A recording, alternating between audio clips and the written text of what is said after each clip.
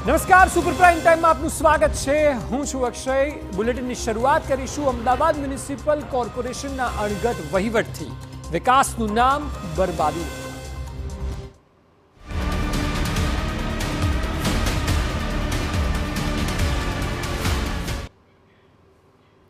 Ahmedabad municipal કોર્પોરેશનના સત્તાધીશો કંઈ ગડબડ ન કરે તો જ નવાય. આ વખતે વટવામાં ઈડબ્લ્યુએસ આવાસ માત્ર બાર વર્ષમાં જર્જરિત થતા વિવાદ સર્જાયો. અહીં પાંચથી સાત બ્લોકને બાદ કરતા તમામ મકાનો ખાલી હતા. એટલે કે કોઈને સોંપાયા જ નથી. માત્ર બાર વર્ષમાં આ કાંડ સર્જાતા વિપક્ષે ભ્રષ્ટાચારના આરોપ લગાવ્યા. સવાલ એ છે કે ક્યાં ગયા એએમસીના સત્તાધીશો જે દિવસ રાત વિકાસના દાવાઓ કરે છે?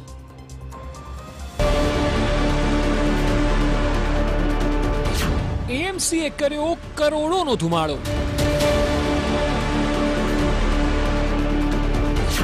પ્રજાના એકસો એંશી કરોડ ફૂંકી માર્યા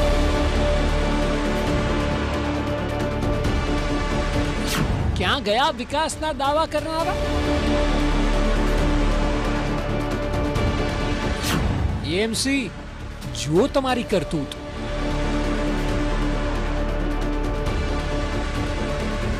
અમદાવાદ મ્યુનિસિપલ કોર્પોરેશનના શાસકો અને અધિકારીઓને આપ જઈને પૂછશો કે શહેરમાં કેટલો વિકાસ થયો છે તો જવાબમાં તમને એવા એવા આકાશી દાવાઓ અને વાર્તાઓ મળશે કે જેની જમીની હકીકત તદ્દન અલગ હશે.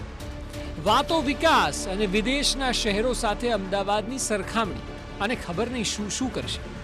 પરંતુ આ ખબર તેમના તમામ આભાસી દાવાઓની પોલ ખોલી નાખશે. વટવામાં જે ઈડબ્લ્યુએસ આવાસ બનાવાયા હતા, તે માત્ર બાર વર્ષની અંદર જ એટલી હદે જર્જરિત થઈ ગયા કે તેને તોડવામાં આવી રહ્યા છે.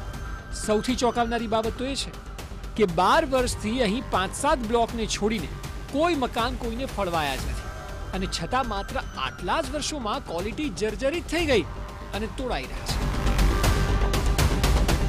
बारह वर्ष में ही अहमदाबाद म्यूनसिपल कॉरपोरेशन द्वारा बनाए गए आवासों को तोड़ने का निर्णय भारतीय जनता पार्टी ने किया है उसका सबसे बड़ा कारण तो ये है कि कहीं ना कहीं 12 वर्ष में ही समग्र हाउसिंग की जितनी बिल्डिंगें बनाई गई थी उसको जर्जरित घोषित कर दिया गया है और सबसे बड़ी बात तो ये है कि इन सभी आवास में अहमदाबाद म्यूनसिपल कॉरपोरेशन ने एक भी ड्रॉ नहीं किया था वटवा में ज़्यादातर हाउसिंग में 2200 ऐसे आवास थे जिन्हें अहमदाबाद म्यूनसिपल कॉरपोरेशन ने तोड़ने का निर्णय लिया है સૌથી ચોંકાવનારી બાબત એ પણ છે કે સ્ટેન્ડિંગ કમિટીમાં મંજૂરી પહેલા જ સિત્તેર ટકા મકાનો તો તોડી પડાયા એટલે લગભગ અનેક દિવસોથી આ મકાનો તોડવાની શરૂઆત થઈ ગઈ હતી. પાંચ સાત બ્લોકોમાં જે લોકો રહેશે, તેઓનું કહેવું છે કે આ મકાનો તો સંપૂર્ણ જર્જરિત છે અને તેને તોડવાનું તો અનેક મહિનાઓથી કામ ચાલી રહ્યું છે. મકાનો પ્લોડો હતા અને એકસો ત્રેપન સત્તાવન બ્લોકો હતા. રાઈટ, સત્તાવનમાંથી સાત બ્લોકો છોડી નાખ્યા અને બધા જર્જિત થઈ ગયા હતા.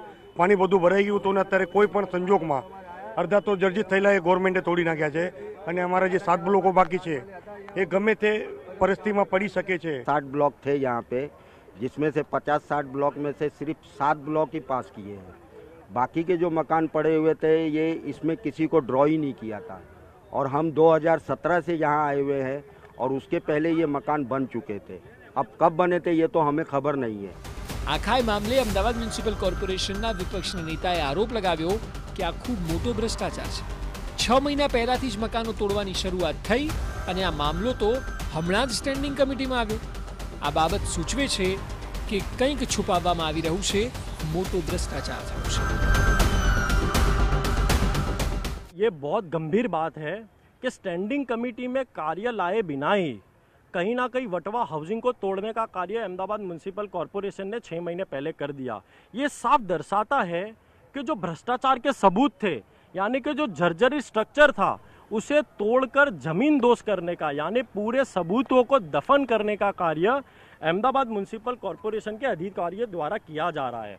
और सबसे बड़ी बात तो ये है कि गरीबों को उनका हक तो नहीं मिला, लेकिन उनके नाम पर जो भ्रष्टाचार किया गया, उन पर क्या कार्रवाई की जाएगी? अभी तक भारतीय जनता पार्टी उसमें एक शब्द नहीं बोल रही है। 2011 में इसका निर्माण किया गया। वो दोनों जो कॉन्ट्रैक्टर थे उन दोनों कॉन्ट्रैक्टरों पर क्या कार्रवाई भारतीय जनता पार्टी और अहमदाबाद म्यूनसिपल कॉरपोरेशन करेगा? एक शब्द नहीं बोला जा रहा है। उस समय हाउसिंग डिपार्टमेंट में कौन अधिकारी थे? उनके ऊपर क्या कार्रवाई की जाएगी, उसलिए एक शब्द नहीं कहा जा रहा है। आज इन आवासों को तोड़कर आगे क्या किया जाने वाला है? क्या कार्रवाई होने वाली है? कहीं ना कहीं भारतीय जनता पार्टी इस पूरे मामले में अहमदाबाद शहर की जनता को गुमराह करने का कार्य कर रही है। મામલો હાલ સમગ્ર અમદાવાદ જ નહીં, પરંતુ આખા રાજ્યમાં ચર્ચાની ચકડોળે ચડ્યો છે. સવાલ એ છે કે કયા કોન્ટ્રાક્ટરને આવાસનો કોન્ટ્રાક્ટ અપાયો હતો?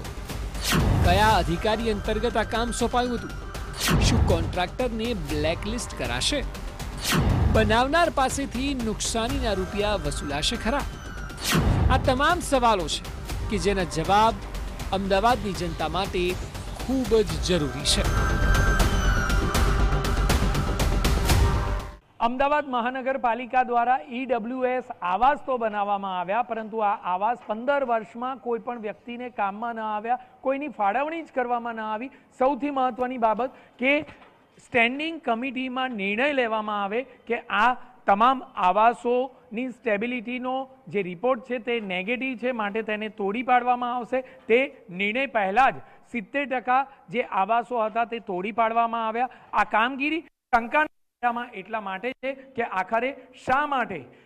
કોઈ પણ પ્રકારના તપાસ વિના, પોલીસ ફરિયાદ વિના, કારણ કે જ્યારે સ્ટેબિલિટીની વાત આવે તો સ્ટેબિલિટી માટે કોન્ટ્રાક્ટર જવાબદાર રહેતા હોય છે અને આ જ કોન્ટ્રાક્ટરને જવાબદારી ઠેરવ્યા વગર, તેના પર કોઈ પણ પ્રકારની તપાસ કર્યા વગર પોલીસ ફરિયાદ કર્યા વિના જ તેને તોડી પાડવાનો નિર્ણય લેવામાં આવ્યો છે, જે ખૂબ જ શરમજનક બાબત ગણી શકાય.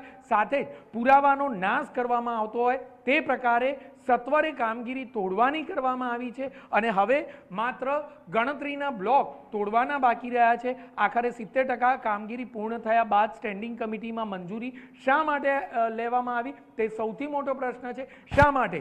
જો સ્ટેબિલિટીનો રિપોર્ટ નેગેટિવ હતો, તો શા માટે પોલીસ ફરિયાદ કોન્ટ્રાક્ટર સામે નથી કરવામાં આવી, એજન્સી સામે નથી કરવામાં આવી, જવાબદાર અધિકારી સામે પગલાં નથી લેવામાં આવ્યા? તે પણ એક મોટો સવાલ છે. કેમેરામેન મનીષ ત્રિવેદી સાથે જિજ્ઞેશ પટેલ, ટીવી નાઇન, અમદાવાદ.